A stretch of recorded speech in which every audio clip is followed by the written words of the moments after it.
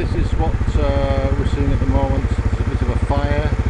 And this is the helicopter from the Guardia Civil, I think. That's uh, doing many, many, many, many runs to try and put the fire out. It's put most of us out now, actually. It's uh, unbelievable. It was a huge, huge fire when I left uh, the house. You can just see some of the flames there. I don't know if I can bring it in closer or not. But it's, it is quite, uh,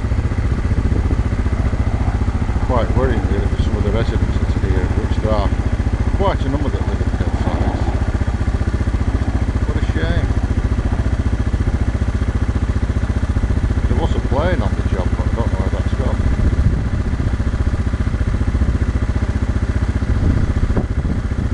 Going to fill up now water deposit. But pretty good shots, but if I move the camera across now, the first, there are more fires starting, obviously through the wind and the sparks. I can see one, two, three, four, five, and a ribbon of fire uh, to the north there. Unbelievable. And as I'm watching it now,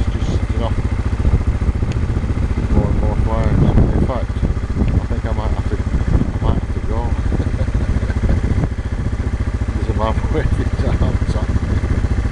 And there's the helicopter up again. Amazing. And you know, some years ago, because these uh, firefighters in Spain used to be volunteers and just get paid by the work that they did. Not, it's not too long ago, three or four years ago, that uh, these firefighters were setting the fires themselves just to, uh, just to earn some revenue.